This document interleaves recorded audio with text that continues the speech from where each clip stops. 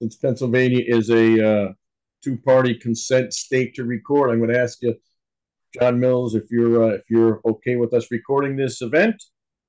That's okay.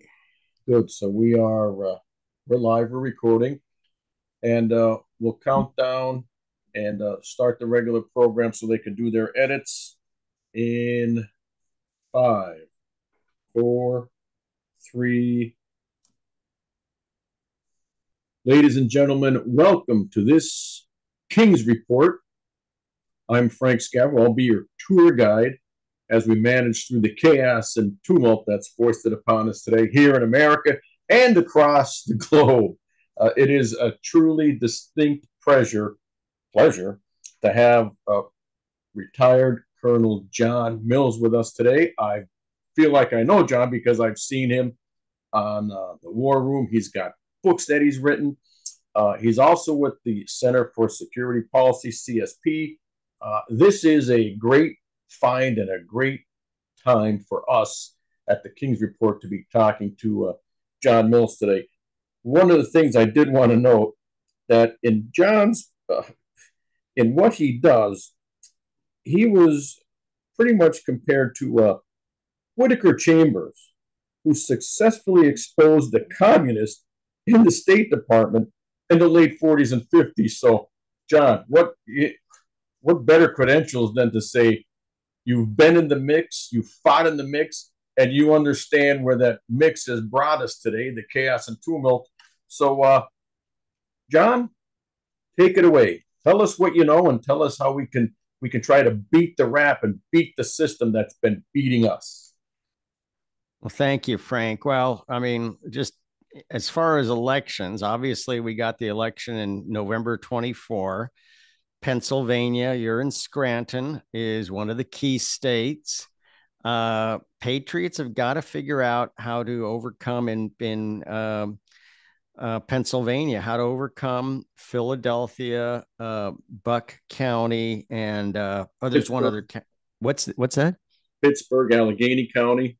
Yeah, yeah, because that's really where and I think the, uh, I mean, the way Pennsylvania is set up, I mean, you should have majorities in the House and the Senate, but I, I think you had a lot of rhinos who just did not fight and uh, they gave away gave away the farm figuratively and literally. So the fight is right here in America, and Pennsylvanians got to figure out how to reestablish uh, uh, constitutional governance. Uh, you gave it away. You got a, uh, a, governor who probably shouldn't be in be in office, and uh, and others. But uh, it's because uh, you had the the RINOs had the the House and the Senate and gave it away in Pennsylvania. So that's that's a key state now. In at, at Georgia, things seem to be changing a bit. There's some new election laws. The whole Fulton County case is falling apart.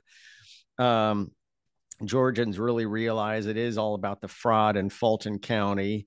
In Mar- uh, in Arizona, it's Maricopa, but you know this now Hobbs is under investigation. Uh, this is important. Uh, this is very important. Um, so uh, you know, but we just got to. Nevada's clearly in play. Wisconsin, uh, Michigan. Uh, we got to figure out how to get back to you know sensible governance in in Pennsylvania. Now, your senator, I will, you know, John Fetterman has su- surprised me, uh, has surprised me continuously, one way or another. But you know, his stand uh, against, uh, you know, for Israel against the Hamas craziness, I think has been quite. Uh, he's made the most sense of just about any senator, in, uh, in, and so I've been very impressed with his uh, stand, and he's he's been unequivocal on it. I mean, he's just, hey, they started it, the Israelis are finishing it. It's as simple as that. And John, that's one of the black and white issues that's been age old through millennia, right?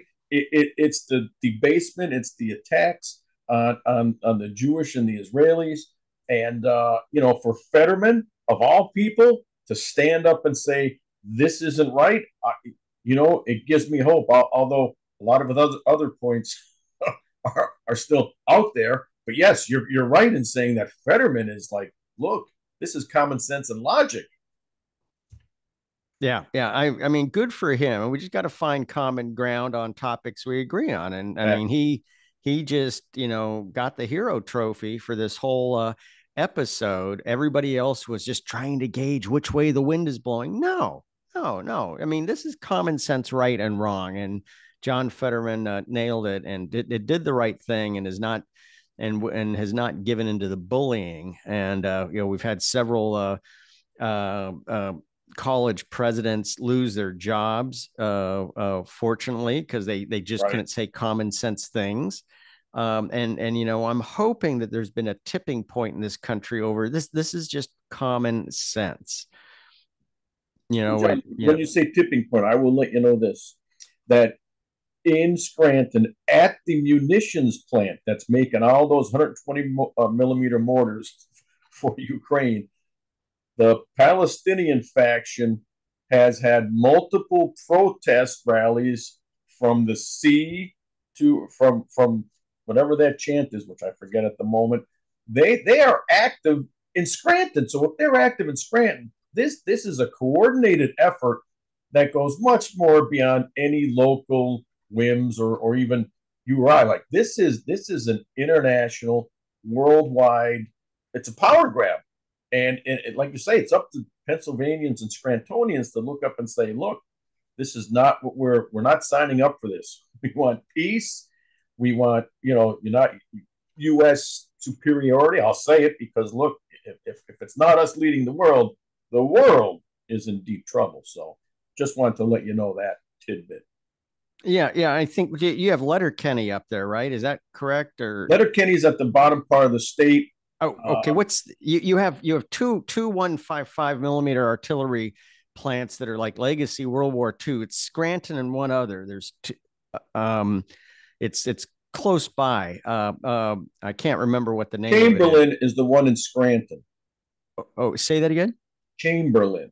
Okay. Chamberlain is the one in Scranton. It used to be an old rail yard that they converted right in World War II and have been there ever since, making these. Uh, I guess they were howitzer shells. Yeah, yeah, that that's the key. I mean, they we've added capabilities in Ohio, Texas, and the final. What happens is those one five five rounds go to Iowa, and uh, that's where they're packed with explosive mm-hmm. and uh, finalized. Uh, but uh, but yeah, yeah, and and so they're they're targeting these the Scranton plant.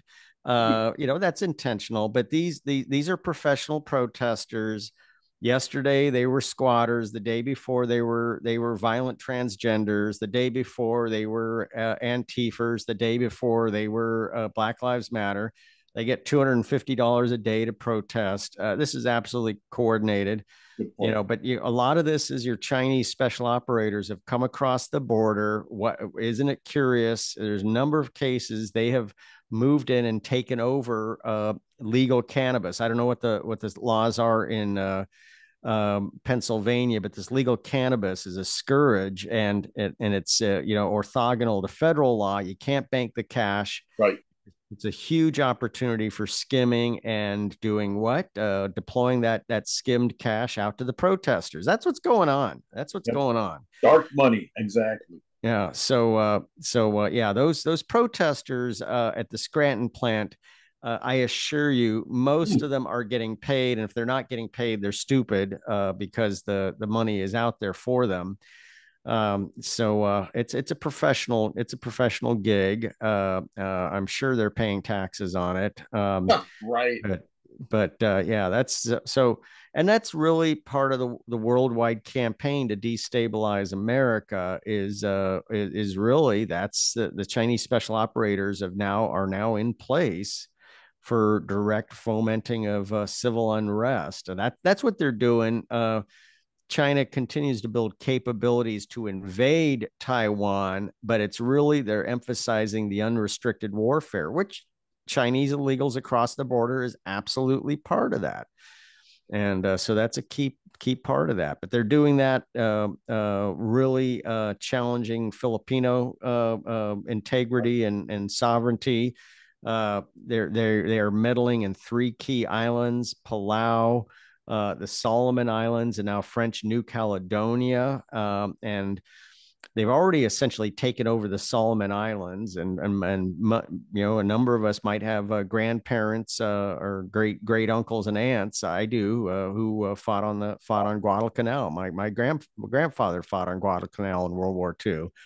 So uh, they've essentially taken over Guadalcanal. But if they're able to throw the ele- upcoming election in Palau, uh, and then also topple French New Caledonia, they've essentially created a barrier that that sweeps around the left flank of the second island chain and cuts off Australia. And and again, many Americans got to get their heads wrapped around this. They say, well, "I don't see bombs and missiles falling on American territory, so I don't know what you're talking about." Hey, there is a war in progress. We are in World right. War Three. World War Three. Uh, it's it's unrestricted warfare. Warfare has many forms. Uh, most Americans are conditioned to only acknowledge or understand uh, uh, bombs and missiles. Well, we we do have bombs and missiles on landing on U.S. territory. It's called fentanyl, and mm. you know I know you know in, in in many places uh, in Pennsylvania. That is, every, everybody knows somebody who's been uh, killed by uh, fentanyl. Everybody knows somebody who's been killed by fentanyl. In our sister county, Luzerne County, there are hundreds of deaths from overdoses. In fact, uh, they are, you know, they're now distributing Narcan, number one, free of charge, and number two, with no registration. We're just giving out Narcan because that's how prevalent it is. So you could be a drug user, walk up and say, "Give me the Narcan in case my buddy overdoses," and you get it, John. So this this is a crisis. You're right. This is this is, and it's by design. And we, under the Biden administration, are what complicit, complacent, like, and and to your point, that it's a it's a global effort. They're racketeering, and it's a conspiracy of of everyone to allow this to occur. Am I right? Oh yeah, yeah. I mean, this this uh, the Biden team is enabling it by an open border. Uh, Chinese operatives, uh, really, essentially, the cartels are now working for China.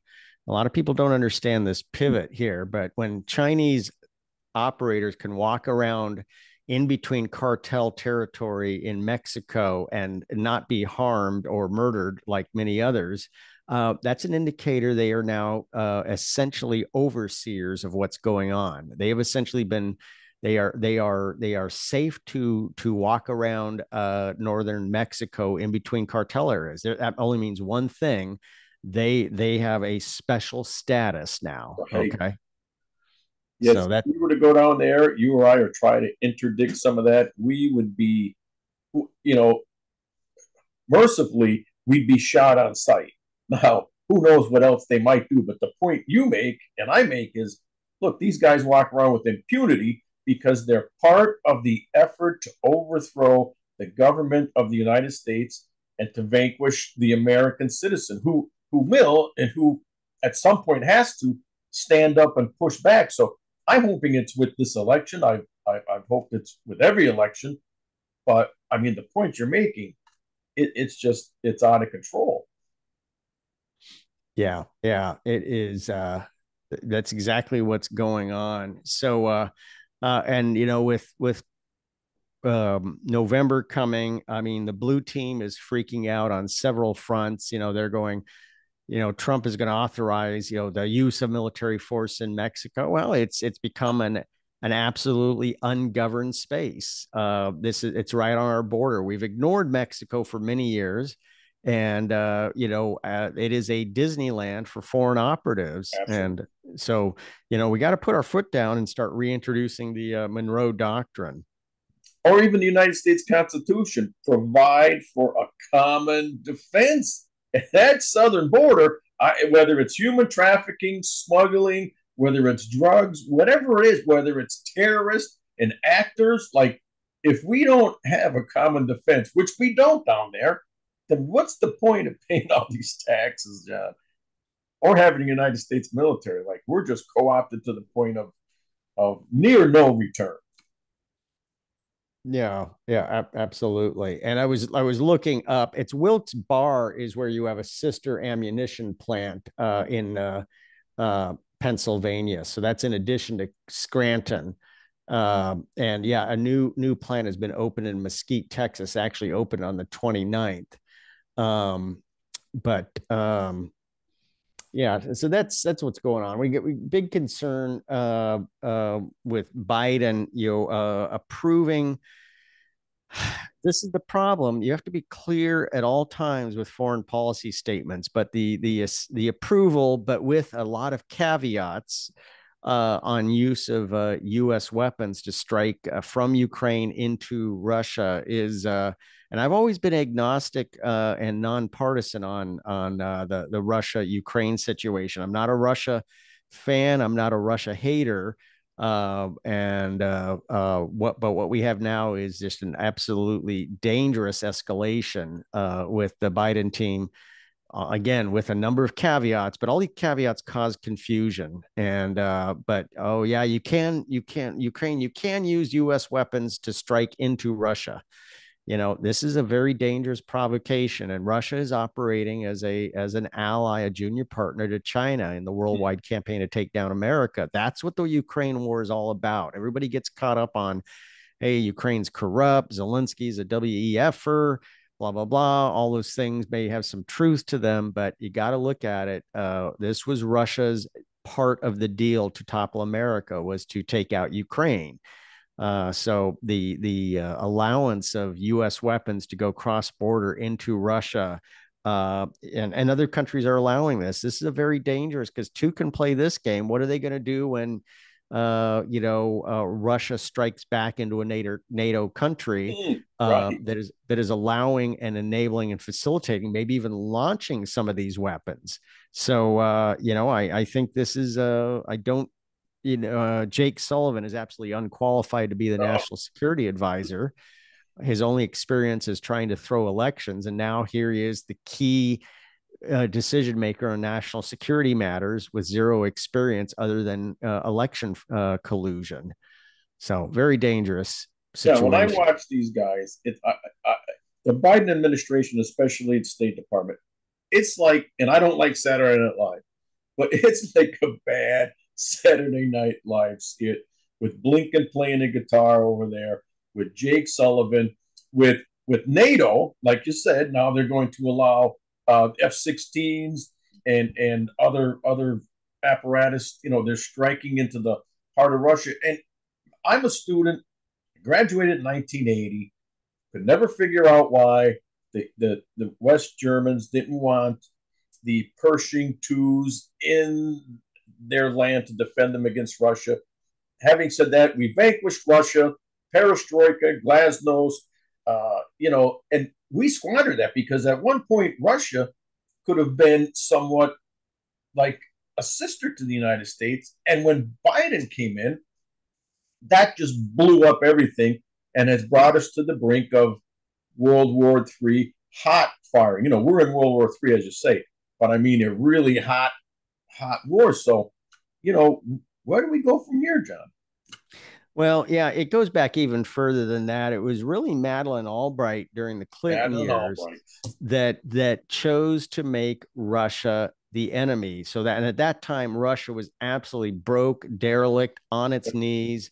Uh, we could have easily created a new era in international relations by by simply reaching out and helping Russia. Uh, instead, Clinton was distracted by domestic uh, uh, crises of his own making. Uh, you know, was the, the, the allure of international peacemaking, peacekeeping was uh, you know Madeleine Albright. You have this wonderful military, use it for that.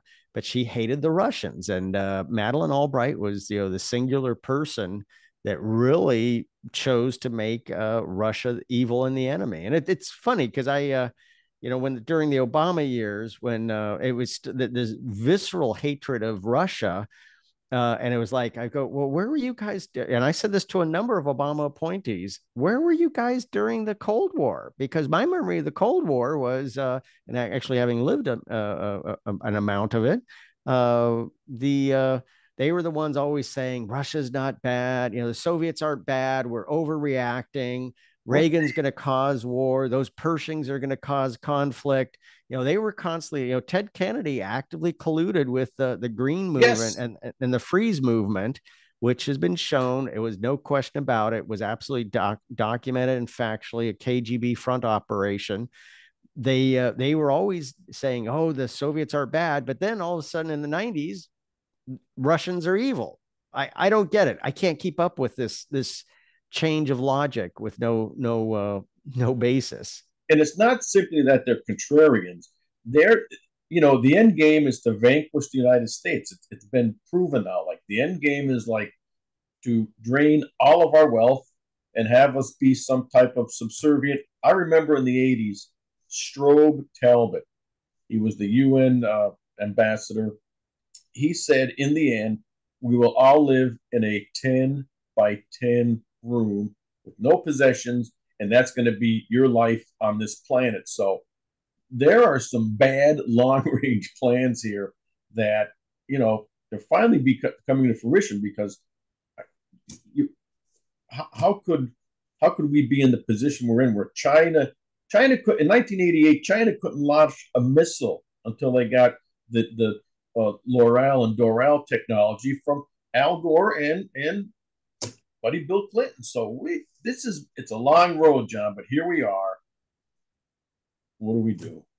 Yeah, well, it's all about winning in uh, 2024 and uh, putting in the right right uh, uh the, getting the right policies in in, in 2024, and that's that's where uh, uh, Pennsylvanians, Keystoners, got to figure out how to bring back. And I, I, you know, just I don't have the map memorized, but I I pulled up a map here of the counties in you know, it's really, really, really uh, Montgomery, Bucks, Philadelphia, and uh, like you said, uh, Allegheny County. You know, everybody can outvote them. This is yes. the, this is what they need to do. They tried to do this in Missouri with by taking over St. Louis, and for a while there, St. Louis was outvoting the uh, you know through fraud was outvoting the rest of the the state of Missouri.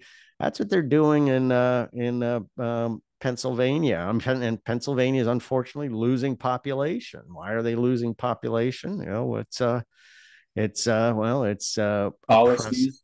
yeah, it's oppressive blue policies that just make it a high cost. Uh, it's unfortunate. This the Keystoners, you're you know you're one of the foundations of the American economy, but now you're losing population. So uh, got to figure something out. Beautiful state. I love the state.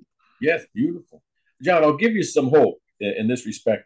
Uh, Luzerne County, who actually in the 2016 election is one of the counties that elected Trump big time. They were an Obama county, and their swing was like a plus 16 from Obama.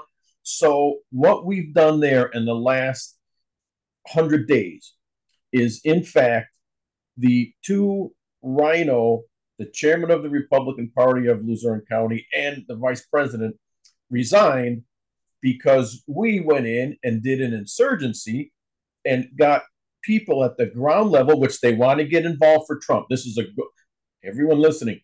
Ask people to help and volunteer because they will. This is golden for Trump. In a normal election, there are 63 or 64 people running for the Republican committee seats. This time, there was over 239 on the ballot, plus write ins. So we have just effectively taken back the Luzerne County GOP from the rhinos. And now what we're doing is having Monday meetings every Monday, just had one last night. And we're going like the Trump 47 uh, plan. Everyone's going out to 10 homes in their immediate backyard. And we're putting out the, the mail in ballot applications, commitments to vote. Like that's what it takes. Talk to your neighbor and say, look, let's get this done because if there's one thing everybody knows, they're paying more, whether they're Republican, Democrat, Independent, Green. The point is, we can't afford this and it's getting worse. So, if that's not enough impetus to make Pennsylvania and America swing the other way, I don't know what is, but that's some good news. So, you know that something's actually happening. And to go from like 63 Republican committee people to 239 plus, that this is the time to strike, John. This is the time to strike. So that's our update from Northeast Pennsylvania. We're working it. We did it in 2016. We're going to do it again in 2024. Uh, well, amen, uh, uh, Frank. That that's great news, and uh, Um, yeah, we're we're counting on you. We're counting on you. That's that, that's Thanks, that's really uh, what we need to do is see uh, we make it uh, need to make the election too big to steal and uh, put in the put in the right person because uh, everything the Biden team is touching is turning to me- turning to uh, a mess. And it's just they they they they they don't have any like Jake Sullivan, no experience running anything except his mouth, you know. So you have a bunch of policy types. Hey, I spent a lot of years in Office Secretary of Defense doing policy, um, uh, but there's a lot of difference between policy and running things. And uh, absolutely, and and we, we need we always need good policy, but you also need to know how to implement and you need to uh, when you when your policy is not working you need to adjust and that's the problem. They they create this utopian view of the future and then they give out awards for intent. That's why obama 30 seconds after being uh, inaugurated uh, first term he receives the nobel prize right you know and it's like the nobel prize committee is asked well why did you give give him well it's because of what he intends to do so you know this is the this is this is the challenge with the blue team. It's all about intent, not actual results and deliveries. You know, to that point, right? They're guilty of racketeering and conspiring because that national media, they'll take the worst disastrous truth that that the Biden administration is failing, and all of a sudden it's like, well, look what these guys they've they've done a turnaround, or or they've never been failing. Uh, it, it's it's just pathetic. But I, I, I did want to see, uh, you wanted to touch on the Russian naval forces visiting Cuba. I, I've seen that, this big exercise that's going to happen. Tell us a little bit about that and what your thoughts are on back in the backyard here, Russian Cuba. This is, this is uh, uh, as part of uh, the worldwide campaign and influence. They see weakness in America and they feel that we're dabbling in their territory, which, uh, yeah, we have a worldwide presence. Uh, so they say, okay, we're going to play that game in your neighborhood. But the concern is, you know, we really, Southern Command really doesn't have a whole lot of resources.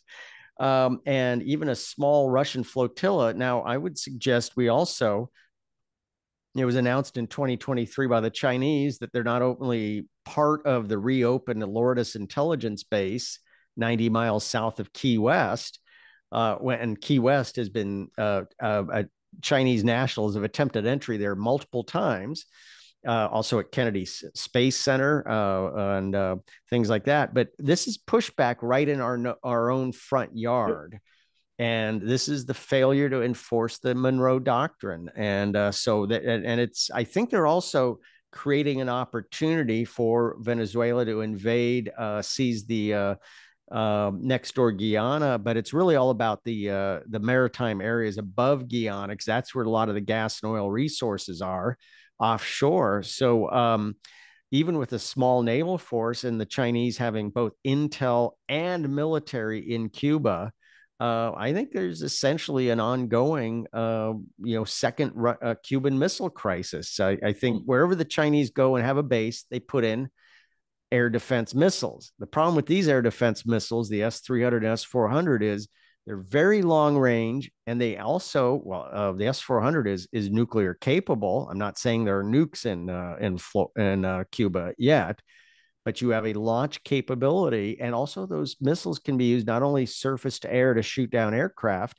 they can be used surface to surface. So we essentially uh, and is it just the is our is our intelligence community corrupt? Are they are they just is this below what's called the cut line and they're not we might be collecting but we're not actually analyzing or actioning it?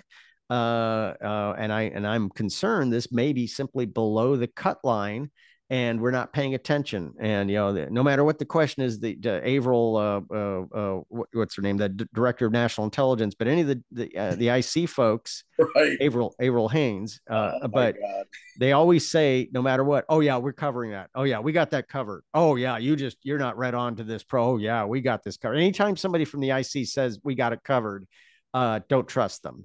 So uh, you know, is is I I assert we probably have a second Cuban Missile Crisis that's been ongoing for the tenure of the Biden team, and uh, we're either unaware of it or aware of it and just cho- choosing to ignore it. they're providing for a common defense. They, these are all like the ABCs. It's elementary, and it goes to show you the fact that the United States military is is no longer focused on protecting the homeland. We got out of that business.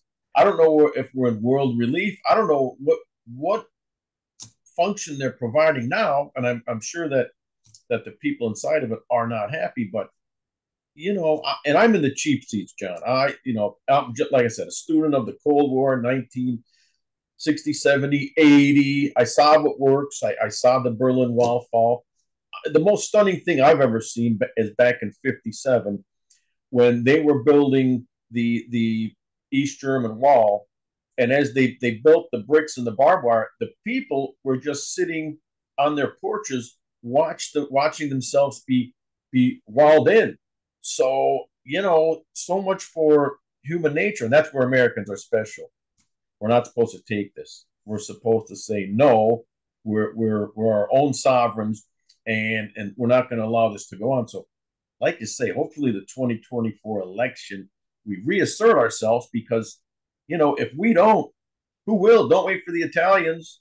Maybe the Poles. The Poles were pretty good, uh, but yeah, this is not the you know the Australians. They had a pretty tough lockdown during COVID, so I just see all these examples examples, and if you, the United States is fading, like I said, Canada's not coming to our rescue.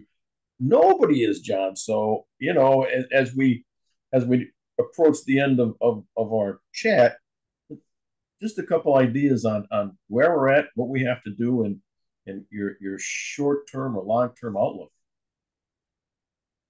Well, it's it's really about the 24 election, and that's where uh, that's really where uh, uh, you know everybody the citizens have to get involved you know we have no excuses if if people are sitting at home bellowing on social media. Right right.